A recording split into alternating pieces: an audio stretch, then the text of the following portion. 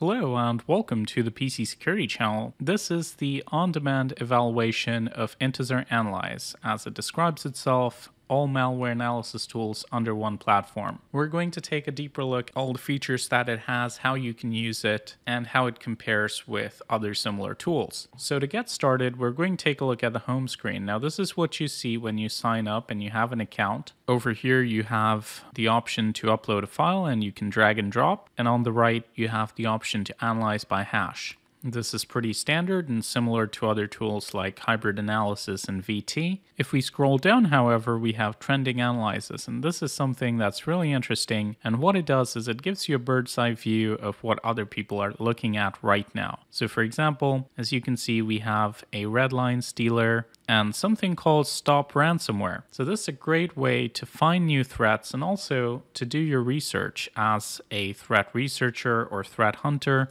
Now, if we click on this, as you can see, it takes us to its own page, and here we can see the ransomware, what it does, and we can go into the individual IOCs. The point is, though, this is a feature that I really like, and having used this platform for over a month, I do think that this helps. Now, the other thing that's unique to Intezer as a platform is the classification technique. So, VirusTotal and other similar platforms often rely on AV engines to make the malware classification, but at Intezer, they have their own technology, which is based on code genes. So, essentially, they break down the code into what they call code genes and use these small code fragments to detect similar threats. The idea is that fundamentally the code has to be recycled to create similar malware. So if you have an info stealer, it's going to have mostly the same code as other variants of the info stealer or similar threats to an info stealer. That's one way of classification, and it isn't always going to be 100% accurate, but what it does do is give you some sort of classification that's really high level and easy to understand. So, as you can see, everything we read here is very clear, and that is, again, a refreshing change from what I see on other platforms you can look at a ransomware sample in VirusTotal and it'll have 40 different names, half of which will be incomprehensible. Here, you can pretty much get a name that you can Google and you can find some sort of research or results on. And what you also have on the right is the IOCs and TTPs. All of this information at a bird's eye view is really handy, and I think this is one of the best features that Intezer as a platform has to offer. But now let's move on and let's show you what a typical analysis looks like. So over here, I have our ransomware samples. I'm just going to pick a classic, like say Jigsaw,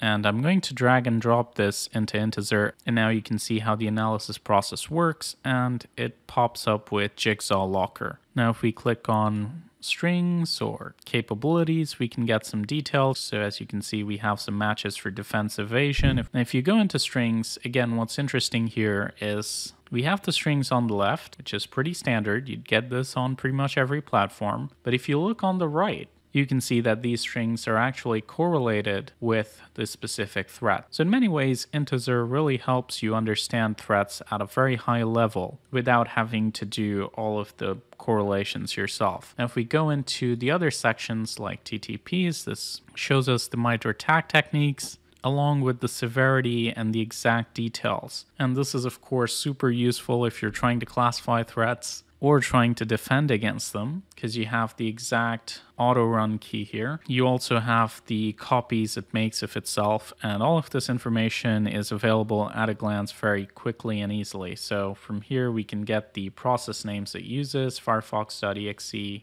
dropbox.exe, and if you've watched my analysis video of Jigsaw, you know that Jigsaw uses these processes. Now, if we want, we can do an extended dynamic execution, and this is carried out with Cape Sandbox. Once the analysis is done, you can see all the process in memory, the dropped files, and if you click on behavior, you can also see the screenshots, so for example, here we can see the Jigsaw prompt message. If the malware communicates on the network, you can also get network activity from here, so you can get IPs to blacklist. You can also get file activity, so you can see what files it tried to modify. And if it's ransomware, obviously it's going to delete a lot of stuff. You can also see registry activity, so it's pretty much like comparing different snapshots of a system, and it's quite effective. And I like the presentation of that as well in Intezer. Everything is very neat and easy to read.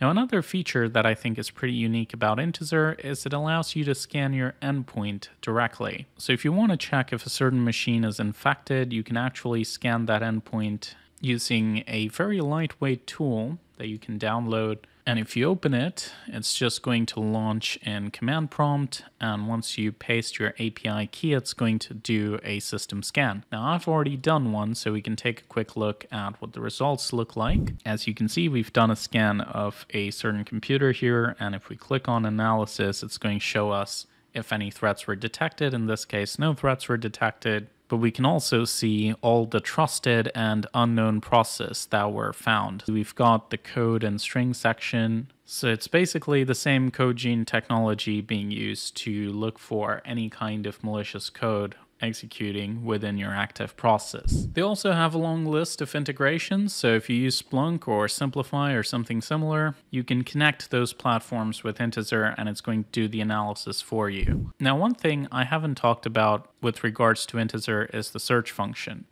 Now it does have search on the home screen and you can search by family and search by string and that's quite useful. Personally, I've found that I usually just end up searching by family because that's a good way to find different types of threats. So for example, if let's say we're looking for dark side ransomware, we've got a couple of families here and if we just click on one, you will find all the associated samples along with their VirusTotal reports. Another thing that's really cool that you can do is you can track this threat and then it's going to notify you if something important happens, a new sample pops up. So that's quite useful. Overall though, the search feature is quite limited. And this is where I feel Intezer lags a little bit behind other platforms like VirusTotal. It's not very detailed, you don't have a lot of advanced search options. When it works, it works great, but when it doesn't work, it can be frustrating because then you have to essentially search for the threat somewhere else, get the hash, and then look up the hash in Intezer. Now, when it comes to visualizing analysis data, I feel like Intezer is based around a table format, so everything is organized as a table. I really like the theme overall. I think it's very clean and easy to understand where the information is, and I've never gotten lost or confused within the UI. But what is missing here is some kind of connected visual representation, like a graph. VirusTotal Graphs does this really well and allows everyone to create their own graphs based on how they're exploring a threat. And this is just a really good visual representation that I miss when I'm using Intezer. So hopefully it's something they can add in the future. Now we're going to talk about some of the more advanced features that you have with Intezer. So for example, you can create a YARA rule directly from any sample that you've analyzed and it's going to auto-generate that. You can also obviously download files, reanalyze them, and there's also an option to use a private index You can set up your own private classification as trusted or malicious, and you can even give it a family name and label. So it allows you to fully classify files manually. And I think that's really important because the code gene technology can't be right all of the time. And what I really like about Intezer is it excels at the things it's good at. So in terms of the layouts and the formats that they've chosen to go with, they have really perfected that. That's my take on Intezer. Definitely worth trying out if you've never looked at it before. Having used this for several months now, I definitely see it as a major platform when it comes to threat analysis and research. There'll be a link to the platform in the description if you want to check it out. If you would like to work with us to test your cybersecurity, you can check out tpsc.tech and feel free to reach out using the business inquiries page since we do offer a lot of options for collaboration. Thank you so much for watching this video. This is Leo, and as always, stay informed, stay secure.